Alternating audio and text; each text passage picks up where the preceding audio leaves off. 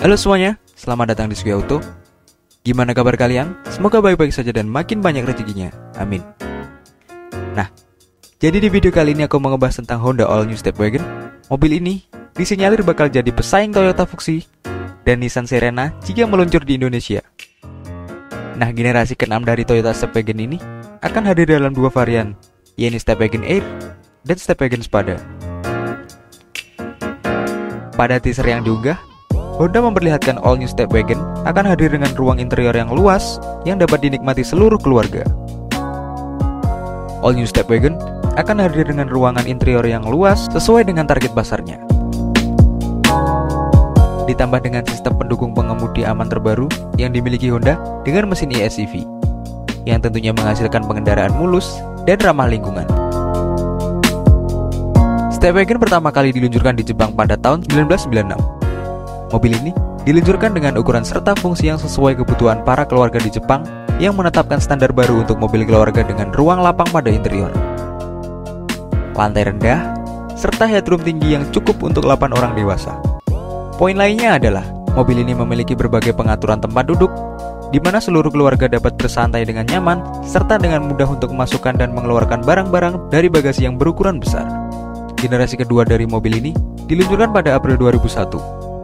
Generasi kedua wagon lahir dengan memikirkan kembali konsep mobil dari sudut pandang seorang anak, di mana anak-anak dapat menghabiskan waktu mereka di dalam mobil dengan nyaman dan terciptalah interior berkualitas tinggi dengan berbagai pengaturan kursi yang memungkinkan penggunanya dapat menikmati berbagai aktivitas, bermain, makan, tidur, dan yang lainnya.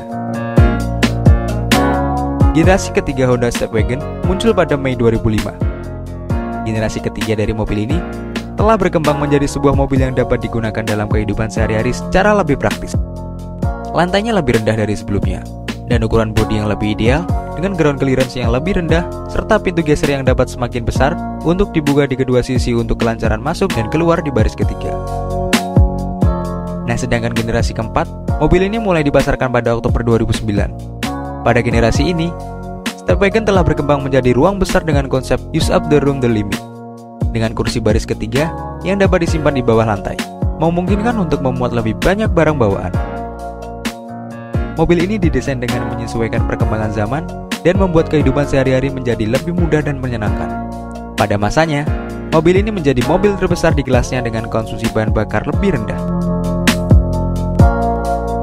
Nah yang terakhir, Generasi kelima mulai diperkenalkan pada April 2015 lalu, di mana telah dilengkapi dengan sistem hybrid sehingga siapa pun dapat mengemudi dengan mudah.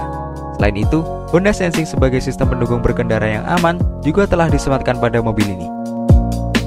Nah, jika benar bakal meluncur di Indonesia, mobil ini jelas jadi pengganti sepadan bagi Odyssey yang sudah diskontinu di Indonesia. Mobil ini juga bisa menjadi pilihan buat konsumen yang memilih Toyota Alphard maupun Hyundai Staria. Apalagi Generasi kelima Stepwagon yang mulai diperkenalkan pada April 2015 telah dilengkapi dengan sistem hybrid dan Honda Sensing. Sehingga kemunculan model baru dari mobil ini layak ditunggu konsumen tanah air. Apalagi yang menambah-nambahkan MPV lapang dengan sejumlah teknologi canggih. So, gimana menurut kalian tentang Honda All New Stepwagon ini? Sampaikan di kolom komentar ya. Nah, segitu aja video kali ini. Apabila ada kritik dan saran, tolong tulis di kolom komentar.